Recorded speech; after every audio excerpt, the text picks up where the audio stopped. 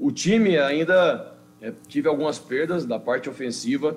É, eu tenho uh, alguns atletas que eu consigo é, poder mexer as pecinhas para poder fazer funções diferentes. Tem é um que joga na lateral, joga de volante, joga no meio.